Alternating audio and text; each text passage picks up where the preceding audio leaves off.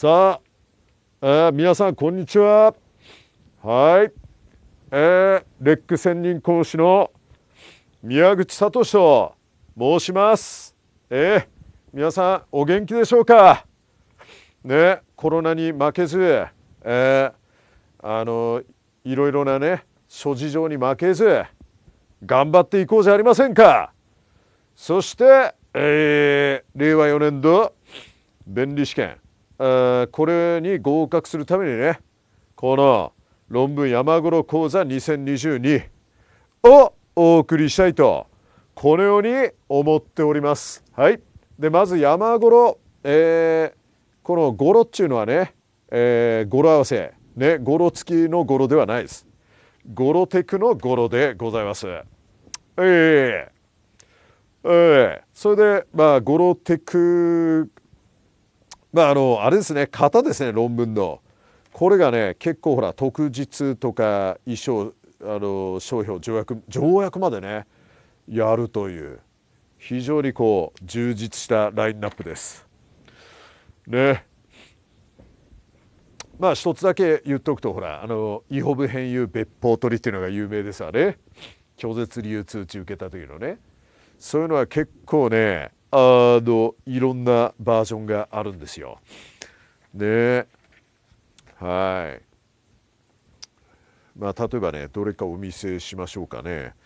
えー、例えばあ特日例えば特日やね、えー、どういうのがあるかというとあまあパターンが17ぐらいあるわけですよこうやってね。あまああの中身はちょっと今ね出せないんですけど、うん、で衣装はね結構あの今までの語呂合わせと違うものを開発したりしてますよ、うん、ニューフェイスな語呂合わせ用意しますからね、うん、そうしないとちょっと太刀打ちできないぞみたいな。従来のやつで臨むとちょっと物足りないぞみたいなね感じなんで新しいやつ出る価値十分にありますこれ。で山手編ね。これはあの正直言いましてね山手編から当たるとは限りません。このゴロテク編の方から当たる場合もありますからね。もう山手編っていうのは、えー、一応山手を張ってる山を張るために問題をやる回なんですけど実はもうこのゴロテク編もいい問題が結構ありますんでね。そっからあ当たる可能性ももちろんあります。えー、そして見解論述、えー、問題対策、えー、これはね何かと言いますとね、えー、ちょっとこれあれだな赤赤になっちゃったね。まあいいわ。赤で塗ったけどほらイエスかノーか分からんようなね、えー、問題が出ますわね。うん。ここで差が出ますよやっぱり。見解論述問題っていうところが一番その論文力を見るにはふさわしい問題です。ね、例えば皆さん実際に弁理士になった時によあの侵害訴訟に携わることもあるわけよ。でその時にさね原告側につくか被告側につくかわからんだろ。で原告側のにつきたいなと思っても被告から被告から頼まれることもあるわ。そういった時によやっぱりそのねクライアントのために最善を尽くす必要があると。どうやったらその論理構築すれば勝てるのかと言ったところこの受験時代からねやっておくことは非常にプラスだよね。はい。山頃の山は山当ての山。ゴロテクのあゴロ山ゴロのゴロはゴロテクのゴロです。で R3 改正。あこれはねまあ主にあの改正点とそれから理由付けね。意外とさ知ってる？去年あのー、早速ねまあ去年は R3 改正出るわけないんだけど R1 改正が出てたよね。詐称制度の。うん、ねだから R3 改正本をね青本がまだ出てないから R3 改正本やりますよこれ。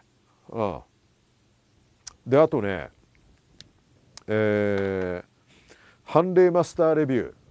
これはねどうしようか。何色？オレンジまだ使ってないね。じゃあオランゲリオンで。ほら付録テキストね。これがまたいいんですよ。ええー、であの判例マスター、レビュー77っていうのはねまあ実際の判例ってな長いですよ。本物の判例は。だからマスターレビューという感じで要約した形でね。まあほらまあ見てくださいよ。あんまり見せるとあれか。よくないかもしれません。ちょちょっと上から順にねマスターレビューほら。77個ほら。ででランクまで書いてるから。ねこれは B ランクだなこれは A ランクだなとかね。えー、まあもちろん C ランクもありますけど。はい。ねどうですか？はい。それでえー、っとうん。でも早速ねあの去年去年も的中してるんですよこの講座から。ええ。ー、でそれは載ってるか載ってないか？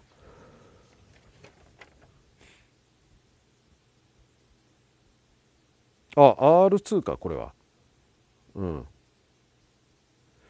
あ去年もねあの R さんからね、えー、出てるんですよ、うん、例えばさちょっといい？今年のその判例マスターレビュー77のねこれは見せてもいいだろう、うん、37番にこういうのをつけました。ほら。メリアス網木事件食品包装事件の合体シャツでこれって実は去年の問題ですよほら R さん特日ね設問に。でこれ実はねあのー、去年の山頃にももちろんその,、えー、その判例のコーナーはあったんだけど別の問題を載っけてたんですね。だから微妙にあのー、問題を変えてますから微妙にっていうかそのこれ R さんの問題だからね去年の山頃には出てないですよ。でで去年は去年で35番というところでメリアス網木事件ねこれ去年の山頃と高速バレル事件を組み合わせた平成24年の問題を載せとるんですわ。で,、えー、で食品包装容器事件は食品包装容器事件で単独で36番として載せてたね。で今年はそあの去年合体した問題が出たからもうこれで一つみたいなね。でその代わりなんか別の判例載せるみたいなね。ああそんな感じでやっておるんですよ。だからこれは授業では扱わないんだけど皆さんがね自主的に勉強に役立ててもらうことでより何て言うんでしょう。より可能性を高めることができますわね。あの何て言うの？的中率を高めることができますよ。うん、ねで判例の数なんですけどね、えー、291919でえー、っと79になります？え？特日が29です。あごめん3939と9と29だね。特日39衣装9商標。29全部で77777にしたのは円担ぎもあるんですよ。ラッキーセブンの2つの連続する77でもってね。皆さん受かってくれよという気持ちをね運のいい数字だから受かってくれよという願掛けの意味もあるわけです。で,、えー、でこの見解論述問題っていうのはね、えーまあ、結果に至るプロセスが重視されるんでね結論はね、まあ、イエスもノーもあるんですよ。ね、で例えばあの平成30年なんかにね、まあ、あのチラシの裏面に載ってるんだけどこういう問題が出たんですわ。えー、っとこっちか。平成30年じゃありませんでした令和元年者失礼、えー、登録商標の使用の立証においていわゆる商標的使用を必要とする立場とねはい、えー、登録商標の使用の立証で自他識別を発揮する使用を必要とする説と青アンダーライン、えー、必要としない立場がある。ね、で50条の趣旨何気にほら一行問題もジャブで繰り出してるな。以下の1から3に答えなさい。まずあの必要とする立場について説明せよっていうのはまあ理由付けなぜ必要なのかの理由付け言いなさいってことや。ね、で丸2が必要としない立場の説明あなぜ必要としないんだと。でほらあなたはどっちですかと。でいやだからねこれはねあれよ、まあ、例えばさ丸丸2の立場が自分の立場だとするじゃん。そしたらね丸2と同じことを書いても意味がないんだよ丸3は。だからコツがあって丸2を取る場合にはちょっとこうもったいぶってネタをあの後回しするためにあまりね多くを語らずして丸3に持っていった方がいいの。ああそうでしょ？出し尽くしたらさあのまあだから3がいいとかねなんかパッとしないようなトーンになっちゃうんだよ。ね？その辺の妙義を教えるから。ああね？わるはい。これは何ね？ああこれはねもう完全に型の問題よこれ。R2 の論文法試験の衣装法でさ侵害系被告パターンが出たんだよ。侵害系被告パターンね。これオツが原告でしょ？オツ。で原告だからピンク。でこうがあナシウル賞ほらこれ。でであの否認抗弁。否認抗弁ですよ。でこれはねまああの本当にねこれ的中してるんですけどあの普通はねなんか否認できないという問題が多いんだけどこれね類似か非類似か実は分からんのですよ、ああこの問題。ね。え A と B がねあその A, A と B という物品が類似なのか非類似なのか全くわからないんですよこれ。でこれあの騙されたやりかよこれ形状はねほらあ形状は意と同一だけど物品 A と物品 B があ同一物品か非類似物品か実はわからないんですよ。ええ。だから非類似だったら否認できるじゃん。ね、で否認できない場合であっても宣戦無効証ね戦死要件戦出願実施権無効の公弁高知遺書の公弁、えー、消滅の公弁ができるのよ。でこの場合の公はね遺書を取るさんをしたとかそういうことは一言も書いてないからあの消去法でこの戦出願実施権はあのこれは除外されます。あとは書いてもいいわね。うん、そういうことよ。でそういうのがやっぱ出るんだよね。戦線無故障型。ね。あ。これなんだっけ？ああこれ出願対応型ね。うん。でこれ語呂合わせがあるんだよ。ここにほらいろいろ出して全部出して削っていくんだよ。こうやって関係のやつね。でこれは実は去年までの語呂であのー、ちょっとねニューバージョンがあるんですよ。ええ。まあ、出てのお楽しみです。ね。これはちょっと重要ですよ。ニューフェイスが登場しますから。ええ、憎まれそうなね、ニューフェイスが登場しますから。ええはい。まあ、そんな感じですか。ええはい。あとは何か言ってないことないか？あ回数、うん、回数は12回。うん回数全部で12回ね。ああでえー、っとそうですねもうゴロテクの説明しましたね。即効性なる語呂合わせとテクニックですね。山手はあ過去25年そうねこの過去25年の表があるんですよ。まあそれもね価値がありますよ。うんで判例はさっきも言ったように授業ではやりません。皆さんが自主的に付録として利用できると。ね。だから今まであんまり判例勉強してこなかった人にとってはいい教材になりますよこれ。ね。オリジナルレジュメはこのな山山手ゴロテクのやつね、うん、7万円です、えー、ラッキーセブンこれもね、うん、で7が3つ出てきたやろ。これでもう完璧なんですよ。777でほら。ねそこまで円滑ぎなんですよ。ねトリプルセブンですよ。皆さん。でトリプルセブンにしたかったら全部ね7万7700円にしてもよかったんだよね。そしたら皆さんが困るじゃん。だからここはもう7000にしといて、まあ、マスターレビュー77ね。これでトリプルセブンにしてると。ねちゃんと気を使ってんだよ。777にしたらよ皆さんが困るわね。7700円分高くなんだから。ね？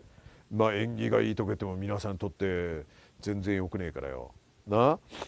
はい。あとはなんかあれそうね。ああ見解論述問題ね。論ゼオそうね。論ゼオ問題って大体なんかイエスかノーかわからんような問題が多いんだよ。条文レベルで解決できない判例レベルとかね基本書レベルとかねなんか全然道の問題とかね。うん。だこれ本当いいですよ。あのなんていうかねあ特にこれ担当に力担当ばっかりやってきてさあの論文に力入れてこなかった受験生ぜひあのおすすめ。あの入門生でもいいぐらいよ、うん、入門生が今からね、えー、来年に向けて今のうちやるぞっていうそういうのでもいいと思うよ。時間持て余してる人ね。うん。いいわこれ。条約もねちらほら出るからね。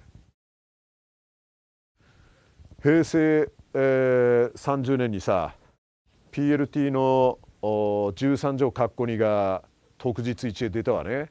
で同じ年平成30年商標法で窓プロ球場のにポツさんが出たわ。ああ。で R1R1 は何が出たかな？ちょっと待ってね。条約的な要素。あ R1 は PCT22 条が出たね。ああ。国内公手続き PCT バージョンがね。平成29年は国際スガンビ認定要件が出た PCT10 条11条のあたり。ね。でえっと去年 R3 去年はあ PCT49 条が出たね。びっくりしたね。ああという感じで結構あの条約的要素出るからね。これ。条約の会ね。これは重宝しますよ。はい。それではね、えー、もうこんなもんでいいか。ねいつまで聞けるかっていうのも重要か。これいつまで聞けるの？ああ7月31日まで、えー、聞けます。ね。割引は一切聞きません。平等に。はい。ということで、えー、山頃動画これをね終わりたいなと思います。はいそれでは皆さんあ今年の試験で合格できるように論文突破できるようにね。山頃受講してください。まあ、あとそうねまあ、来年のために今からやるっていう人でもいいですよ。今からその語呂合わせでもってね。あの論文の実力をねベースとなる力を今からつけておくっていう利用の仕方もあると思うんでね。はい。それではあ終わりたいと思います。え、っと皆さんそれでは実際の山黒講座でお会いしましょう。それではご清聴ありがとうございました。